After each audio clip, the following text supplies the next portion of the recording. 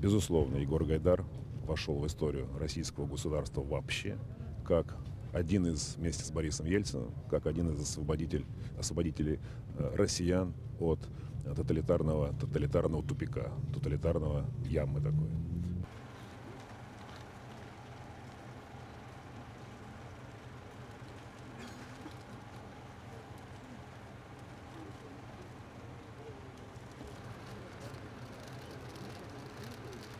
Никогда не надо ждать хорошего. Мы знаем в нашей истории других реформаторов, я уже говорил, и Петр Первый до сих пор спорит, так или не так, правильно неправильно, Столыпин. Так что тут все понятно. И он об этом знал, Егор.